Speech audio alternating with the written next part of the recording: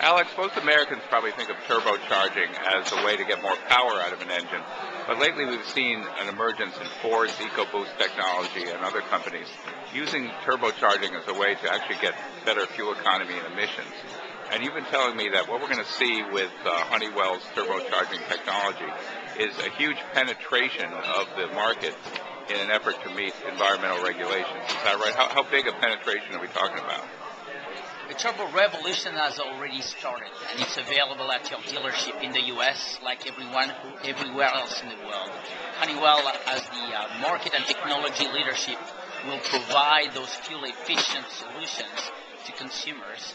And you're going to see a large-scale turbo adoption growing from about 30% today globally to more than 70% by 2025.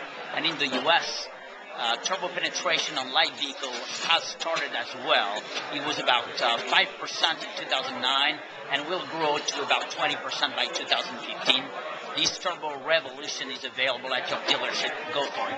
And we're also going to see turbocharging on hybrids, as we already do with the uh, BMW X6.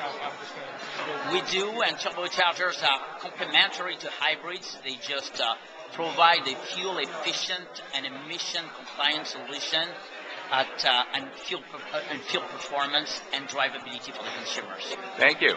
Thank you.